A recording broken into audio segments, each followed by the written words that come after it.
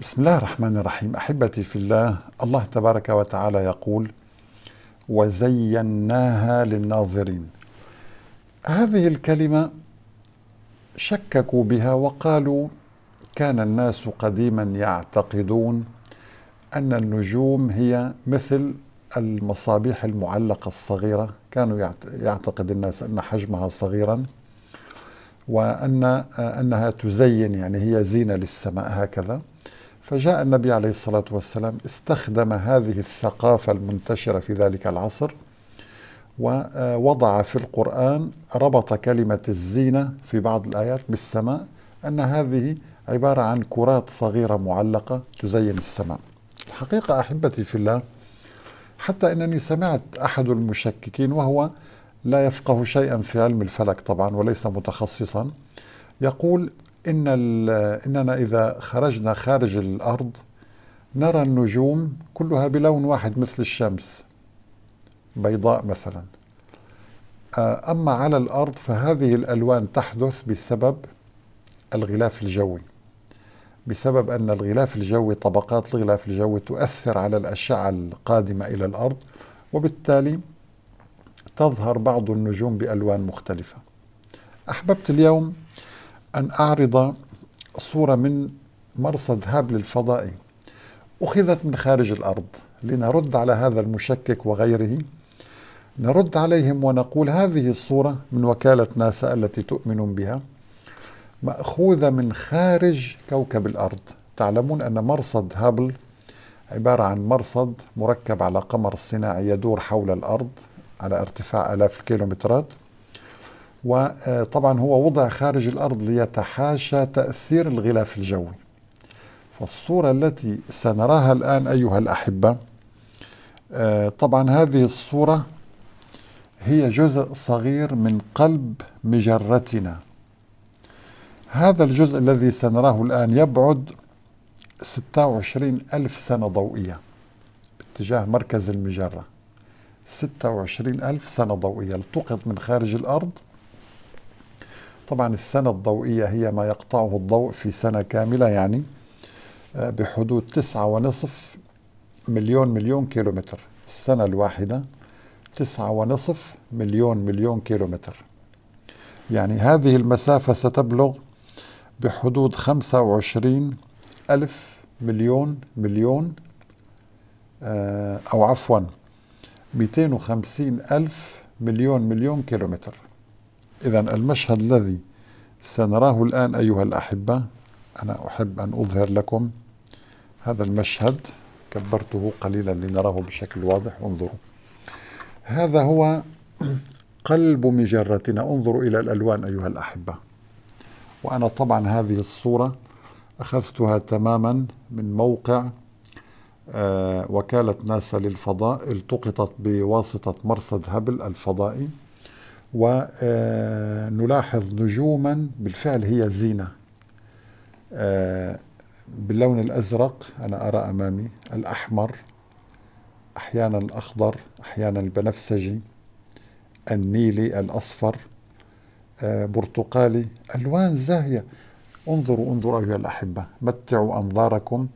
لو خرجنا خارج خارج الأرض وكان لدى أعيننا قدرة مثل هذا التلسكوب الضخم تلسكوب آه، هابل. سنرى هذا المشهد. سنرى هذا المشهد. أيها الأحبة دعونا نكن منطقيين. من يستطيع حقيقة أن يصف؟ من يستطيع أن يصف هذا المشهد بهذه الدقة؟ ولقد جعلنا في السماء بروجا وزيناها للناظرين وحفظناها من كل شيطان رجيم. وزيناها للناظرين. هذه الألوان يقول عنها العلماء عندما حللوا الطيف الضوئي الصادر من هذه النجوم وجدوا أن درجة الحرارة التي يبثها النجم يعني الحرارة السطحية لهذا النجم ليست متساوية لكل النجوم. بالنسبة لشمسنا درجة حرارة سطحها بحدود ستة آلاف درجة مئوية وهي تظهر بهذا اللون الذي نراه تقريبا اللون الأبيض المصفر قليلا. بينما هذه هذه النجمة الزرقاء مثلا هذه درجة حرارتها بحدود عشرة آلاف درجة مئوية وأكثر. تظهر باللون الأزرق. هنا نجوم باللون النيلي النيلي يعني البنفسجي. هذه درجة حرارتها عالية جدا. النجوم الحمراء هذه درجة حرارتها منخفضة أقل من شمسنا. تظهر باللون الأحمر لأن اللون الأحمر أيها الأحبة كما تعلمون آه له درجة حرارة منخفضة قياسا للمقياس الإشعاعي الذي يعرفه المتخصصون طبعا أن كل لون له درجة حرارة أقلها الأحمر وأعلاها البنفسجي. واللون الأبيض لون الشمس يقع في المنتصف سبحان الله.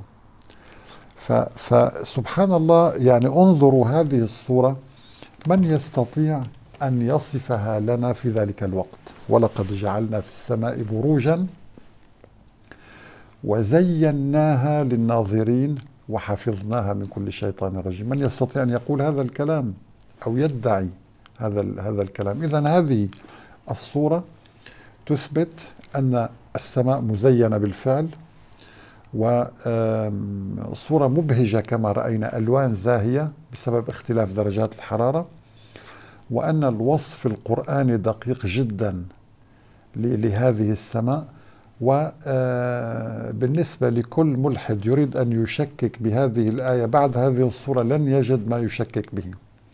لن يستطيع أن يقول إن سبب الألوان المتلألئة للنجوم هو الغلاف الجوي أو هو تأثيرات أخرى. لا هذه الصورة من خارج الأرض. لذلك أيها الأحبة والله يعني كل يعني هؤلاء الملحدون يعطون أفكارا يعني هم يخدمون الإسلام من حيث لا يدرون. لذلك قال الله سبحانه وتعالى ولن يجعل الله للكافرين على المؤمنين سبيلا. لا يمكن أن يجعل الله لملحد على كافر أي سبيل أو طريق أو حجة. كل الحجج التي أتى بها الملحدون القرآن فندها وبحمد الله نكتشف معجزات قرآنية ترد على كل مشكك وتثبت لمن يبحث عن الحق. تثبت أن هذا القرآن هو كلام الله تبارك وتعالى الذي قال فيه أفلا يتدبرون القرآن؟ ولو كان من عند غير الله لوجدوا فيه اختلافا كثيرا. وآخر دعوانا أن الحمد لله رب العالمين. والسلام عليكم ورحمة الله تعالى وبركاته.